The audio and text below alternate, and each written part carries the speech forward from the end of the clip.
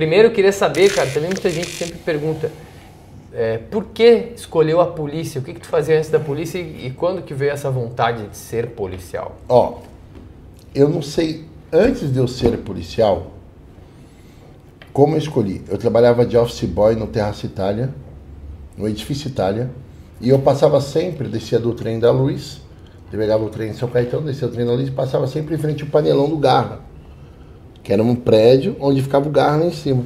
E eu vi aquilo com 15, 16 anos, cara. E aí eu determinei que eu queria aquilo pra minha vida. 15, 16 anos, É. viu o garra e eu quero isso. Eu quero, eu quero. Falei, eu quero isso pra minha vida. E a tua família, o que achou? Ah, minha mãe gostava pra caramba, minha mãe ficou toda feliz Ah, tal, estuda, estuda, estuda. Mas a gente era de família muito humilde, sabe? Eu tinha que trabalhar, meu irmão tinha que trabalhar, sabe? Trabalhei em mercado, trabalhei de marreteiro, sabe? Trabalhei aqueles caminhão que vendia fruta na rua. Tu entrou quantos anos na polícia? Cara, com 22 para 23. 22 pra... E antes disso você trabalhou em mercado? Trabalhei em mercadinho, trabalhei de office boy, trabalhei numa empresa de pneu, sabe?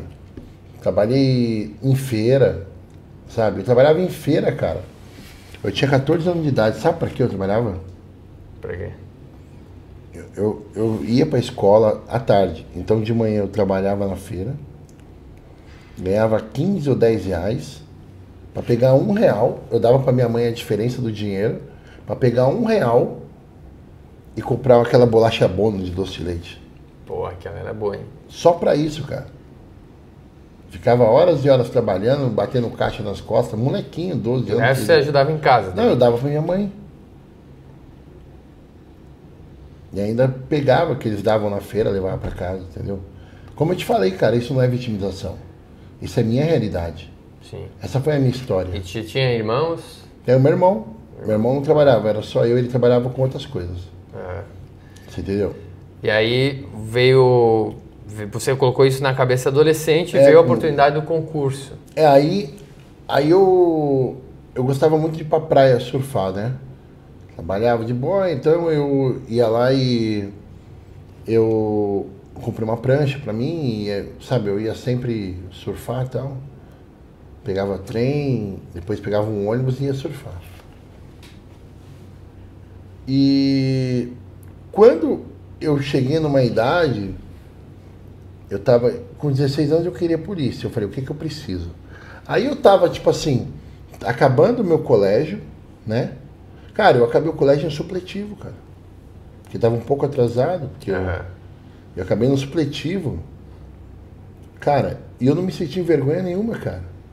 Porque quando eu comecei a estudar, eu passei em nove concursos.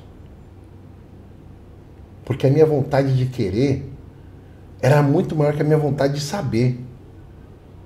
Então, se precisasse, se precisasse ler um livro em chinês e ter que fazer uma prova em chinês, eu ia ler o livro e ia fazer a prova para alcançar minha vontade, que era ser policial civil. Muita gente dá muita desculpa, né? Eu vejo muita gente, ah, é difícil, eu trabalho. Você trabalhava na época que estudou? Eu trabalhava, eu fiquei. Não, isso não é um problema. Quando eu tinha 18 anos, cara, eu tinha trabalhado de 16 aos 18. 16 aos 18. Aí eu parei de trabalhar. Meu pai, a gente morava ainda na casa de dois cômodos. E, e eu parei de trabalhar. De repente, cara, eu só estudava. Meu pai chegou e um dia. Meu pai era aquele cara caminhoneiro tal, que bebia à noite com pouco, mas sempre bebia alguma coisa, ia pra casa de boa tal. Mas um dia ele chegou meio surtado assim, cara, e me mandou embora de casa. Falou, ó, vai embora que você não tá trabalhando. Eu tinha guardado um dinheiro para eu não precisar trabalhar para estudar. Aí ele chegou e falou isso e enfim, tomei no cu, né? Eu tinha uma namorada, assim, uma E aí teve que sair de casa. Saí de casa. Com Com 18 anos. 18 anos de idade. Aí uma, uma namorada, Luciana Tiemi Assudo, o nome dela. Ela falou, cara, vem ficar na minha casa aqui e tal. Eu fiquei. Ela me deu abrigo, não tinha pra onde ir, cara.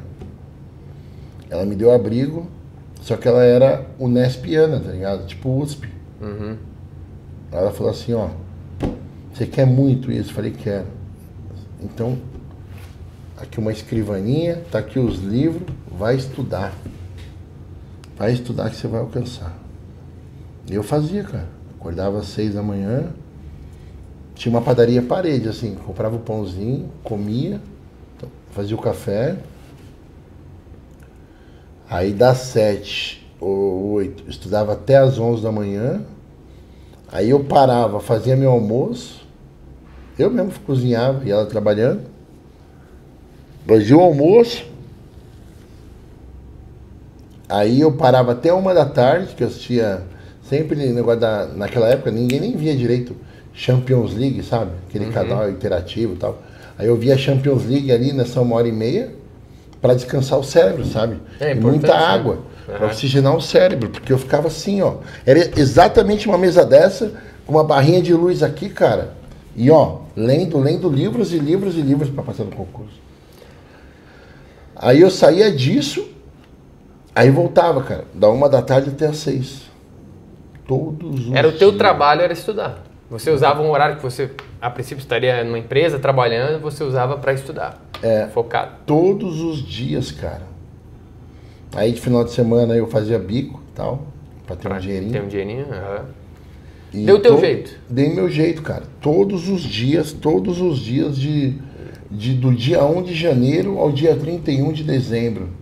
Por dois ou três anos. E aí o concurso veio para agente de polícia, né? Agente policial. Pra, não, na época veio para carcereiro, agente, agente de tele, investigador, é, escrivão. Aí eu passei para carcereiro DECAP de macro, agente policial DECAP de macro, investigador DECAP de macro, são tudo provas separadas. Agente de telecomunicações DECAP de macro e eu, eu não lembro, acho que eu passei escrivão também. E passei, cara. escolheu a gente. Não, na época, eu na oral, eu sabia tudo, enfim. Fui para carcereiro. Foi para carcereiro. É, mas não existia mais carcereiro em São Paulo. Não existia mais carceragem, não existia mais nada, já era CDP. Então era outra secretaria. Então mesmo assim eu trabalhei na rua, como investigador, como agente. E aí logo depois fui para agente. E aí a vida seguiu, cara.